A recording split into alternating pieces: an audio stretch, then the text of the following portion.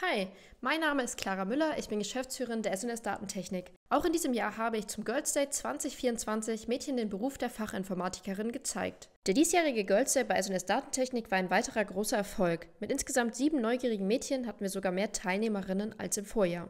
Der Tag begann mit einer herzlichen Begrüßung und einer Firmenführung, bei der die Mädchen einen Einblick in unsere Arbeitsbereiche und die Unternehmenskultur erhielten. Im nächsten Programmpunkt erhielten die Mädchen einen vertieften Einblick in den Beruf der Fachinformatikerin. Ich teilte interessante Einblicke in den Arbeitsalltag und die verschiedenen Aufgabenfelder dieses Berufs. Ein Highlight des Tages war zweifellos der praktische Teil, bei dem die Mädchen erste Programmiererfahrungen sammeln konnten. In Gruppen tauchten sie in die Welt des Programmierens ein und lösten spielerisch Aufgaben, die ihre Kreativität und logisches Denken herausforderten.